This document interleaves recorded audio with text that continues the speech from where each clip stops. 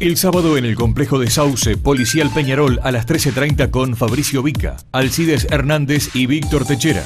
San Salvador River a las 15.30 con Víctor Techera, Alcides Hernández y Fabricio Vica.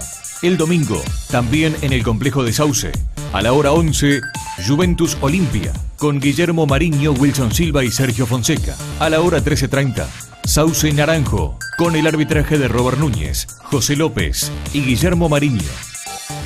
Tendrán fecha libre en la Serie A Racing, en la Serie B Por Venir.